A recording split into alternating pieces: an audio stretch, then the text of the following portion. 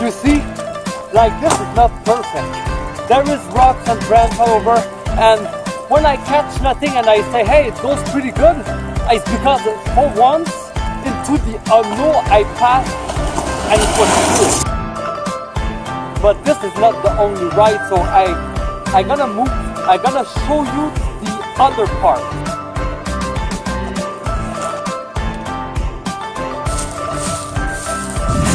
That's what Chic Équilibre loves to do. Even how hard it is, I navigate through it, but I succeed.